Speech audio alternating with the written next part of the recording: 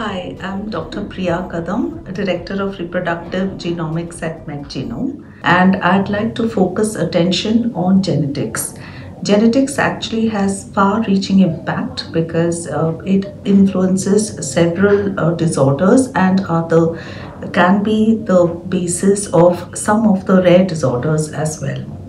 So, uh, while a woman is considering uh, pregnancy, there are certain aspects that she should be aware of, and uh, these are especially important in India because in certain regions there can be consanguinity, that is, uh, marrying within family.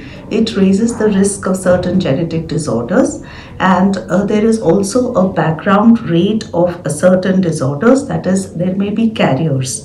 Now, carriers are individuals who may be normal themselves, but uh, if their partner is also a carrier of the same disorder, it is likely that their child can be severely affected.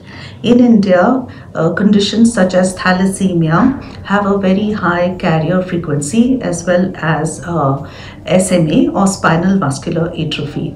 So the population incidence itself is such that some amount of screening or uh, screening of the couple is useful to prevent serious disorders. So there are genetic tests also available for these conditions and some of the rarer conditions.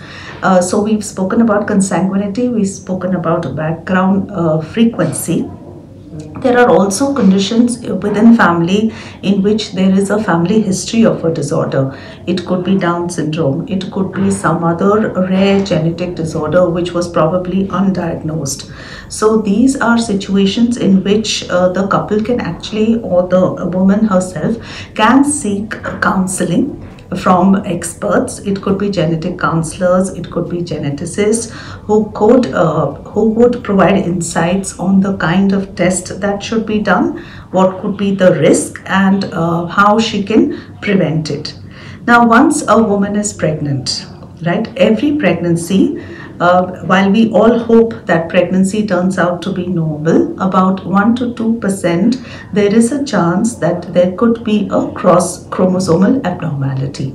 Now, all professional societies across uh, the world recommend that some sort of screening be done to identify these uh, cross abnormalities. Uh, one of the aspects of this is also genetic testing because genetic testing in addition to other factors like maternal serum screening there can be ultrasound abnormalities which can be picked up which can identify or give a clue about genetic disorders.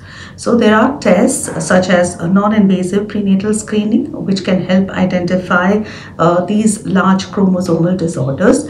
And if need be and with consultation with experts the uh, woman might want to go for further testing to actually identify whether there is the baby is normal I'd like to highlight that all women be aware of their genetic history uh, understand whether anybody else in the family has certain disorders and speak to experts uh, to be able to take care of their own health as well as uh, that of their babies.